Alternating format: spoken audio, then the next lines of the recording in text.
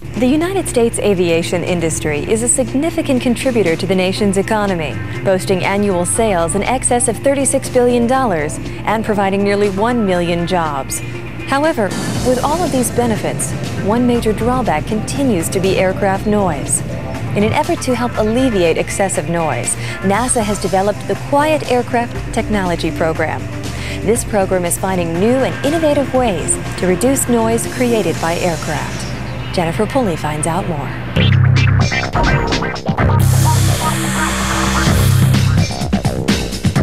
Noise generated by aircraft is already a major issue in airport neighbor communities. As airports expand to increase productivity and capacity, the noise issue will become even more critical.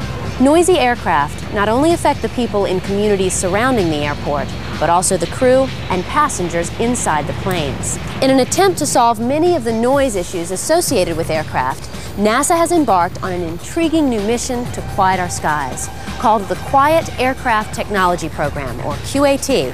This program will develop technologies to reduce aircraft noise by 50% in five years and begin working on the technologies to reduce aircraft noise by 75% in the next 20 years. I spoke with Andy Powell at NASA Langley Research Center to find out more. Oh, on takeoff, most of the noise that you hear is due to the engine, both the fan in the front of the engine and the jet exhaust noise out of the rear engine. And what most people don't know is that on landing, a lot of the noise that you hear is actually due to the airframe passing through the air itself. Uh, this is because that on landing, the engine power is cut back, and a lot of parts of the aircraft are extended into the airflow and create turbulence. Now, the major sources of this airframe noise is the landing gear, the flaps on the trailing edges, and slats on the leading edges of the wings. In a recent government survey, noise was listed as the greatest environmental concern at airports. It is estimated that in the last 20 years, approximately $4 billion has been spent on or around airports to reduce noise pollution. This includes adding sound insulation to homes and schools in close proximity to an airport. Unfortunately, these techniques only help if you are inside an insulated building. Researchers at NASA realize that in order to fix the noise problem, they must first start at the source, the planes themselves.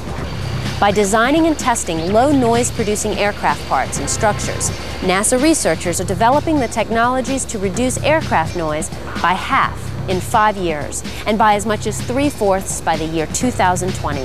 Andy, what are some of the things you're working on here at NASA to make aircraft quieter? First, we do studies to look at the sources of noise to try to determine which are the dominant sources so that we can know which sources to work on the hardest. Then we do other studies to try to determine the physical phenomena that are creating the noises and what we can do to reduce the levels. And then we go out and test concepts either in wind tunnels or in the laboratory and in some cases in actual flight tests to validate those concepts. Some of the things that we're doing is to look at advanced fairings to put around the landing gear to smooth the flow around the landing gear so that you don't have as much turbulence and therefore reduce the noise. We're also looking at other fairings that we can put on the slat so that you don't have side edges to create noise. We're also modifying the fan blades so that they're actually quieter from the design of the fan blades. If you can smooth the airflow around these parts, then reducing that turbulence will reduce the noise considerably. Andy, what about the exhaust noise coming out of an aircraft? Okay, well, one of the things that we did was look at what we call chevron nozzles. These are actually scallops in the back of the exhaust pipes, essentially, of the aircraft. And as hot exhaust gases come out of an aircraft engine, then they mix with the surrounding air, and this turbulence, when they're mixing, creates a lot of the noise that you hear. Now, by putting these chevrons uh, along the edges, we're changing the shape of the turbulence so that you raise it to a higher frequency, which then is absorbed more by the atmosphere than the low frequency normal jet noise. The chevron nozzles have actually been test flown full scale on a major aircraft. Uh, and we expect that these will actually be coming in on the production aircraft engines in the very near future. We've talked about engine and airframe noise. Are there other ways to reduce noise without major design alterations to an airplane? Yes, we're actually looking at new ways to fly the aircraft around the airport so that they minimize the exposure of people to the aircraft noise. For instance, around a lot of airports, they fly noise abatement procedures to get the flights away from schools and houses. But in some situations, if the wind is blowing, these flight paths may not be the optimum flight path because of the effects that wind has on the sound propagation.